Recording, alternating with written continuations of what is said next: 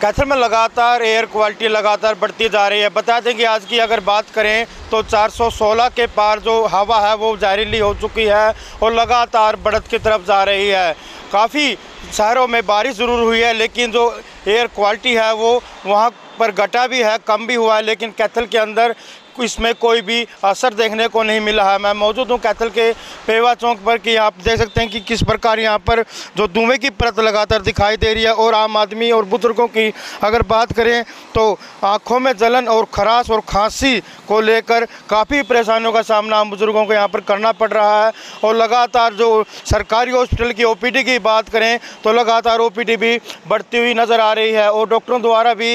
लगातार कहा जा रहा है कि जो बुज़ुर्ग है जो